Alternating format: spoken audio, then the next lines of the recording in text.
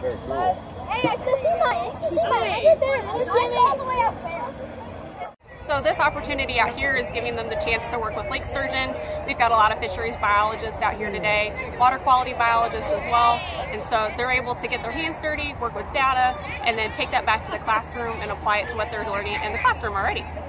They're very prehistoric is probably the word that gets used the most. Uh, some folks say they look like a dinosaur. Yeah, and that's pretty fitting because they have these hard bony plates on the outside of them rather than, than scales. Um, they don't have a skin like a catfish. It's very rough, and so they're just very different from much of anything else that you'll find out here. You know, the thing that's a little bit unique about them is they're our second largest fish in the state. They can get to be over 200 pounds, over eight feet long. Uh, they don't become adults until they're in their 20s, so they're very similar to humans from that perspective.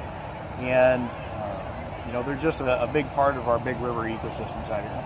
And it's one of those things that because that fish can live to be over 100 years, the fish that these kids are stocking now, as they get older, their kids and their grandkids may be out here fishing for that species, and so they'll be able to talk to their family about coming down here and actually stocking one of the fish themselves.